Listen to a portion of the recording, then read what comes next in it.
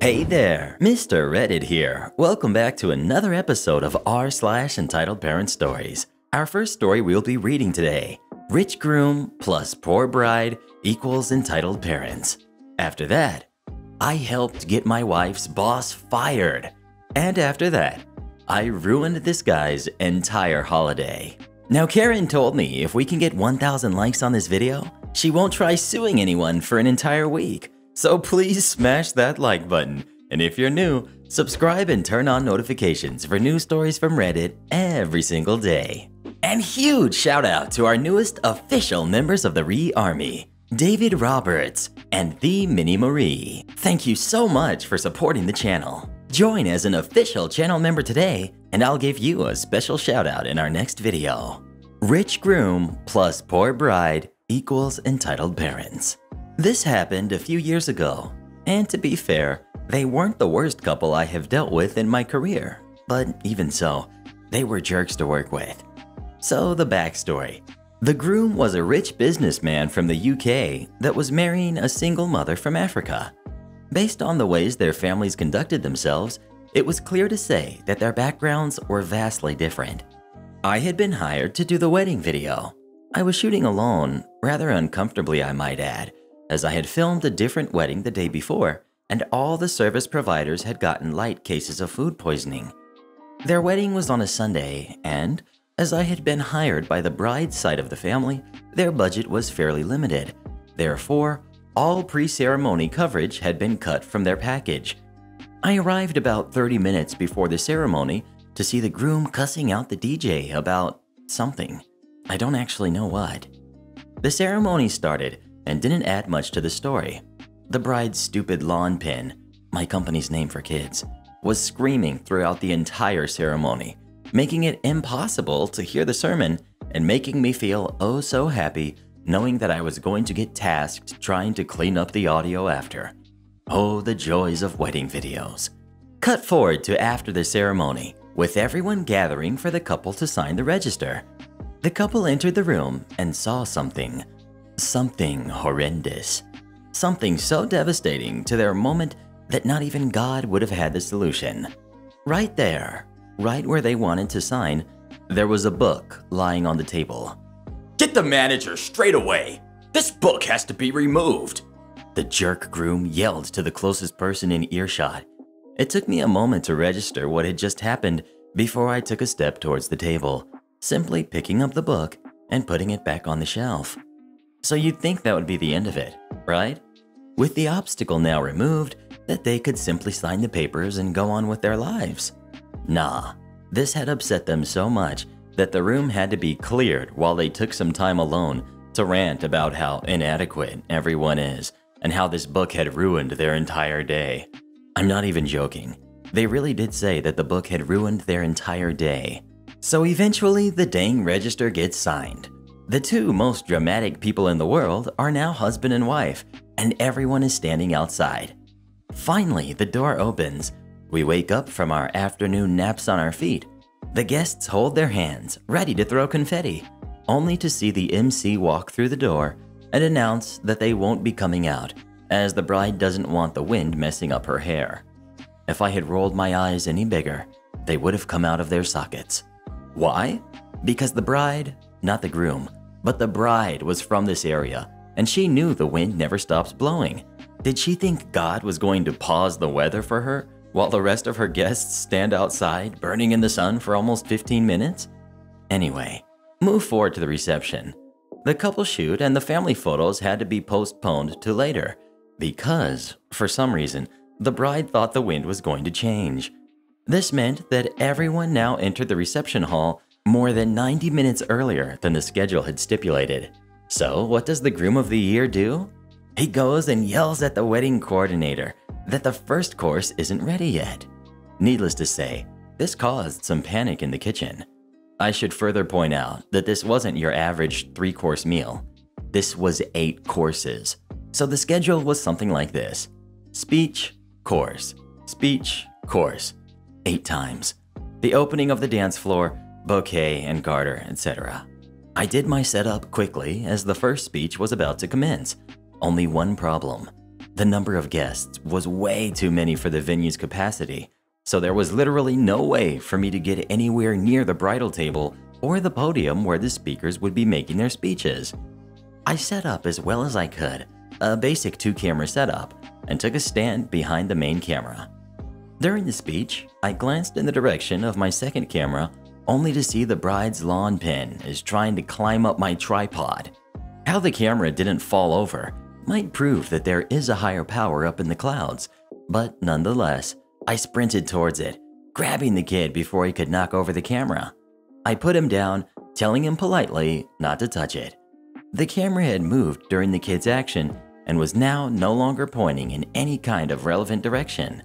I glanced back at my main camera, only to see that the speaker was no longer standing behind the podium and had gone to stand directly behind the couple. I had missed it completely. I sprinted back to my main camera, readjusted the shot, glanced back at my second camera, only to see the dang lawn pin aiming to try and climb up it again. Once more, I sprinted back to my second camera, picked the camera up, and set it up right next to the main one. This was the most boring setup ever done in my career, but it would now have to do. The speech eventually ended, and the first course was served.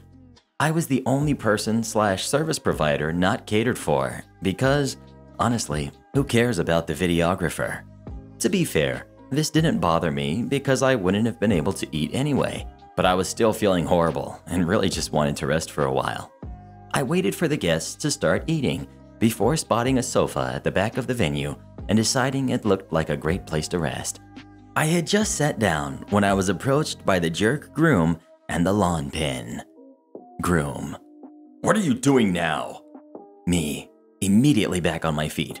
There's really nothing I can shoot at the moment, so just waiting for the next speech. Was there something you needed? Yeah, please watch this stupid kid. And yes, he really did describe his new stepson as the stupid kid. Me. Huh? Yeah, just keep him quiet and make sure he doesn't disturb the guests. Me. What about when the next speech starts? Thank you the groom said, walking away without answering my question. I looked after him with bleeding eyes. This wasn't happening. The kid stared at me. I stared back at him. He continued staring at me, and then started wailing his eyes out. I looked around frantically to see if any of the kid's relatives were gonna come help, but nope. Giving in to my fate, I climbed down to the floor, opened the kid's backpack, and started unpacking his toys. He stopped crying quite quickly as I let him show me his favorite toys. Skip forward about 15 to 20 minutes. The kid and I were in the middle of an intense dinosaur battle when I heard the next speech starting.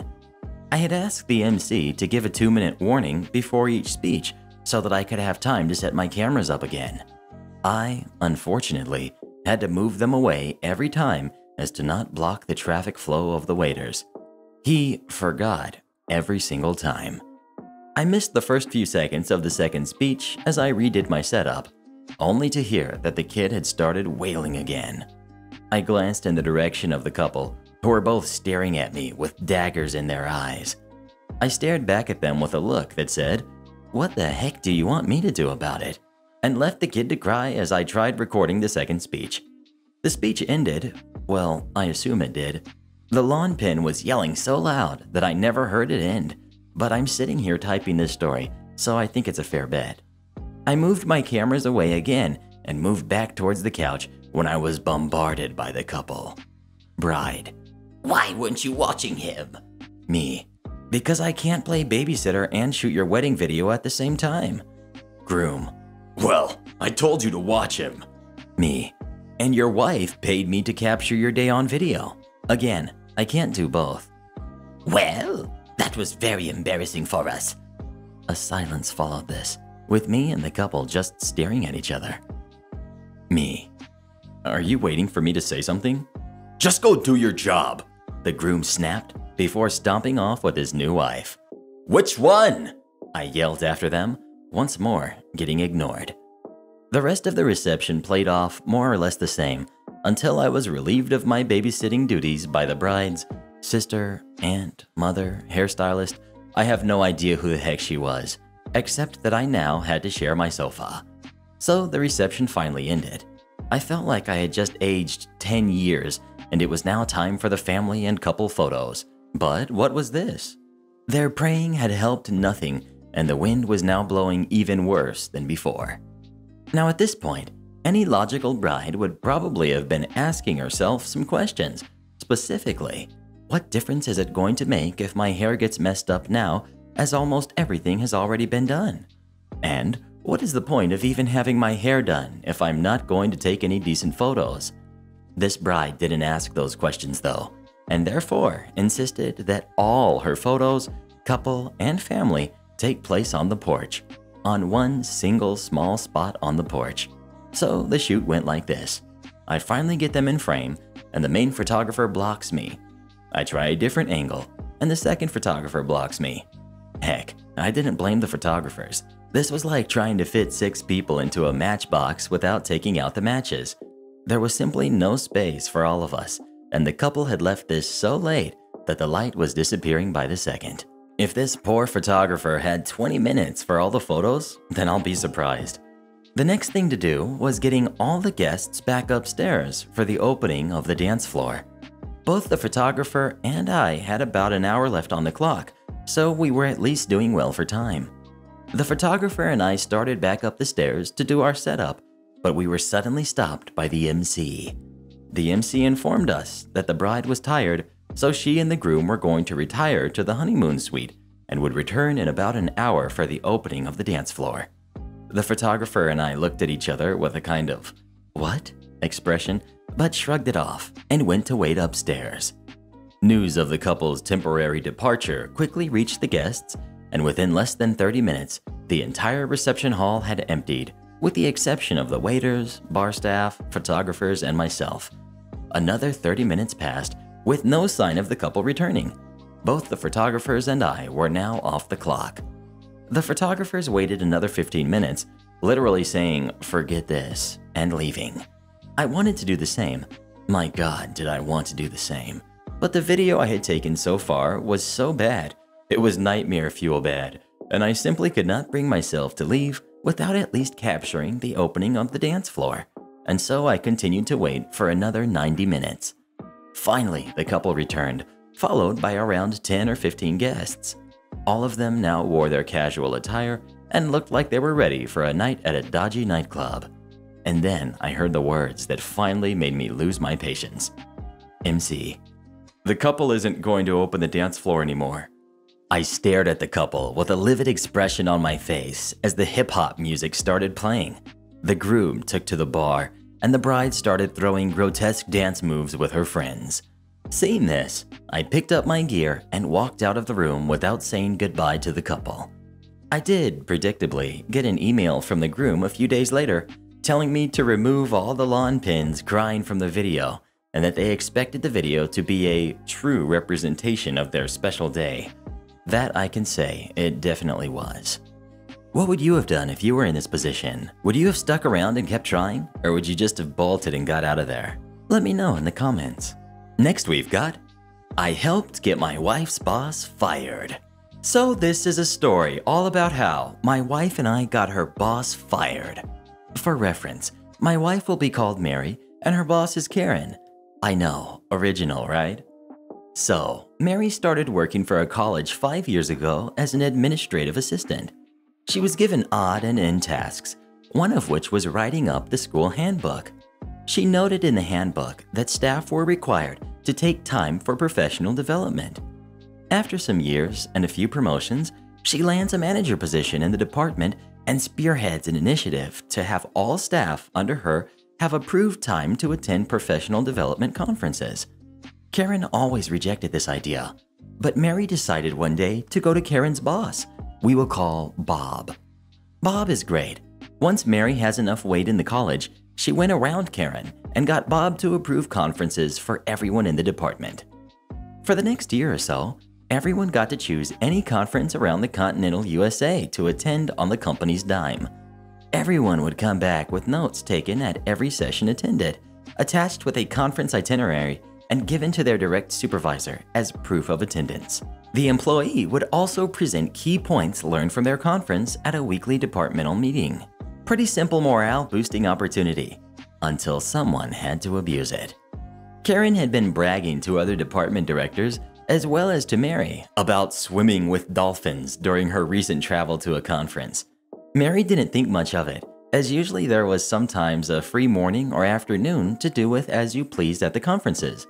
My wife told me this during our nightly pillow talk, and having been raised in Orlando, where Karen decided to attend a conference, my head popped up and I asked, Where?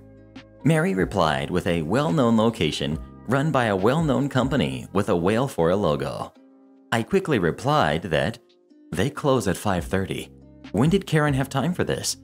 Mary, who had access to Karen's itinerary, dropped her jaw when she realized the conference Karen attended did not have free time during the business hours of the dolphin swimming experience.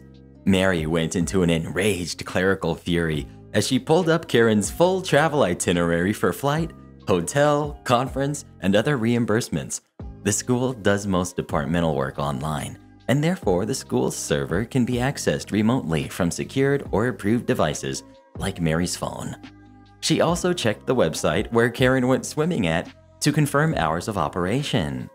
According to the records submitted, there was no way Karen had time to swim with the dolphins during the experience's normal business hours without missing part of the conference. And according to Carrie's itinerary, she was supposed to have attended all sessions. Mary worked hard to have the privilege to travel the country to attend conferences, and Karen just messed it all up. Mary eventually wrote all of this up, attached the itinerary documents, attached photos of the encounter, and apparently from other theme parks that Karen had neglected to mention from social media, attached the hours of operation, and sent this all to Bob. Mary texted me about an hour after she got to work the next day, saying Bob was livid. He was currently in the process of questioning everyone Karen had bragged to to see if the stories all matched up. A few days later, Karen was fired from the company for only attending one session of the three day conference, lying about her report filed, using company funds for travel hotels and food to go play at theme parks, and for submitting a time card to get paid while doing all of that. Although Mary's name was anonymous through all of this, Karen seemed to blame Mary anyways. Karen sent mean and dark texts to Mary several times until the school could send a cease and desist.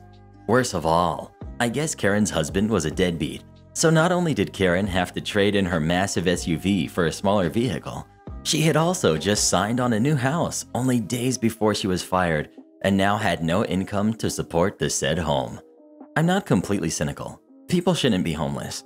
But Karen had also taken credit for a lot of Mary's work, made Mary do Karen's workload while Karen went away from her keyboard, and many other instances of foul play I can't remember because there's so much pillow talk.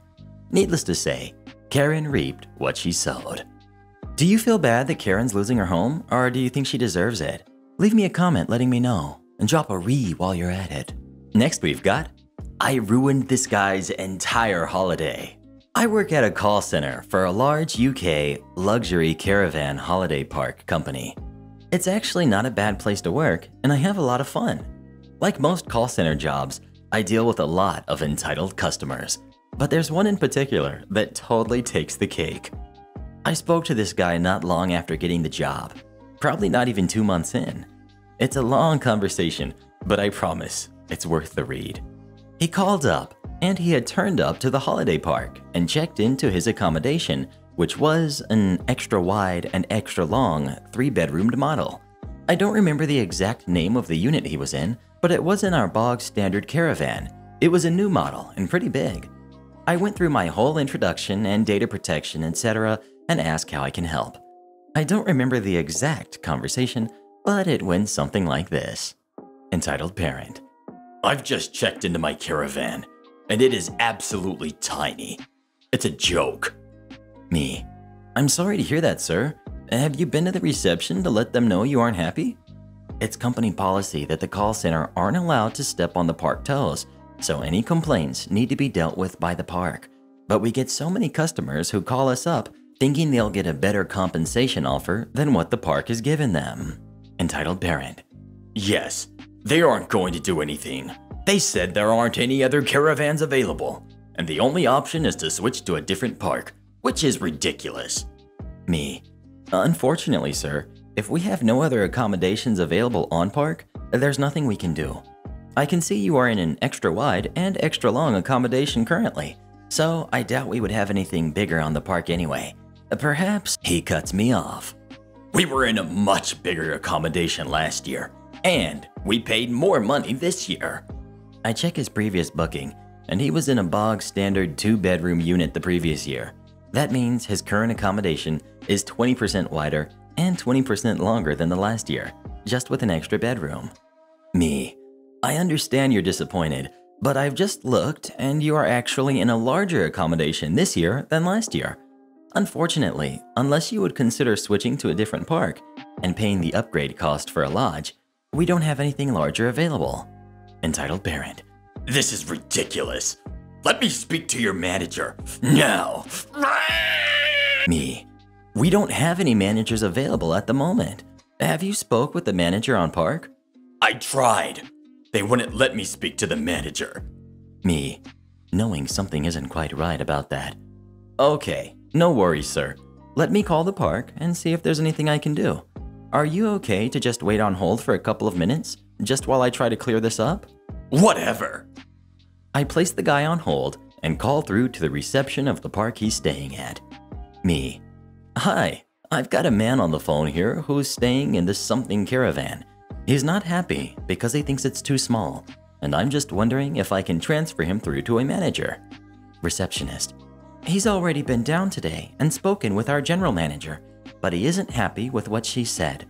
He can speak with her again if he likes, but he'll need to come down here to speak with her. Me, confused. He just told me you guys refused to let him speak with the manager. I'm so confused. Receptionist. No, he's been down here three times now and spoken with her twice.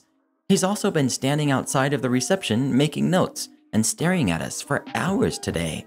He wants money, but we've told him he isn't going to get it because there isn't anything actually wrong with his caravan. He just wants a bigger model, which we don't have. I apologize for wasting the receptionist's time and go back to the guy on hold. This is where it gets crazy. Me. Thanks so much for holding there, sir. So I've just spoken with the park, and unfortunately, there is no manager currently on site higher up than the woman you've already spoken with. She's the general manager of the park. Well, she's an unhelpful idiot. She was incredibly rude, and she didn't want to help us at all. I want to speak to your manager now! Me. Unfortunately, as per our complaints policy, you do need to deal with this issue with the park. And as they've already explained, we won't issue any compensation to yourself as your issue is a personal opinion. There isn't anything wrong with your accommodation. Your entire company is a shambles. You've ruined my holiday. This caravan is a joke. It's a joke! Me. Sir, I will not tolerate you speaking to me like that.